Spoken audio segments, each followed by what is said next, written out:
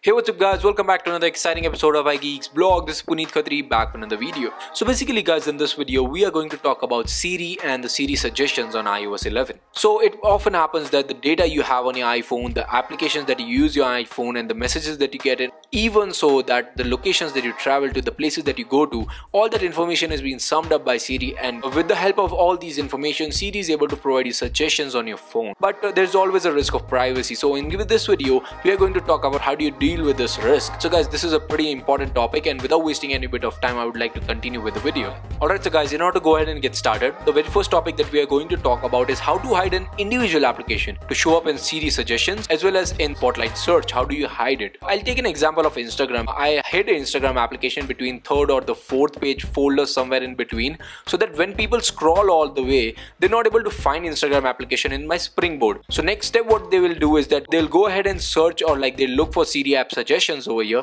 If they even don't find the application over here, they'll go ahead and search it in the spotlight. But I'll go ahead and disable it to show up in the spotlight as well. So people don't get to know that I have that application or no, or like they're not able to find that application so they can't have access to that application eventually.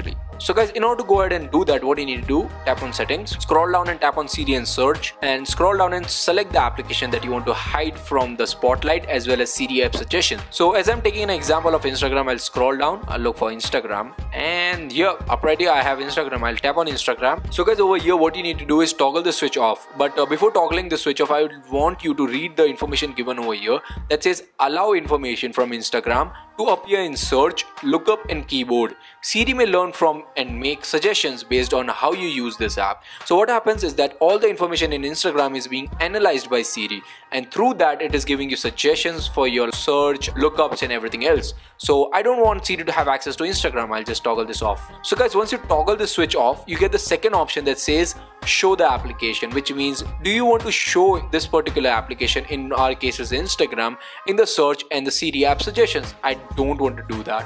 Just toggle both of these switches off and we are good to go. Now I'll go ahead and tap on spotlight search over here.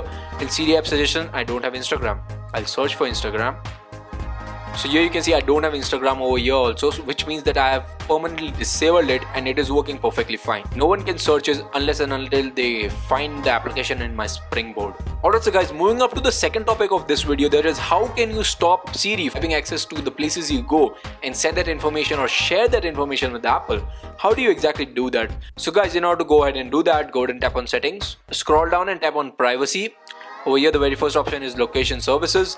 And scroll all the way down and here you would have system services. And over here you have this option that says location based suggestions just toggle the switch off and what happens is that Siri won't be able to give you location based suggestions anymore. It won't be tracking your location. It won't be able to send that location to Apple as well. Alright so guys uh, going ahead and moving to the last topic or the third topic of this video that is how to completely stop Siri from giving you like suggestions or like spotlight search something. So in order to go ahead and do that go ahead and tap on settings scroll down and tap on Siri and search and over here you will have this option that says Siri suggestions. Just toggle both of these options off and that's it. You won't no longer have Siri suggestions suggestions. You can just see when I go to spotlight search I don't have the Siri suggestion application over here which I previously was having.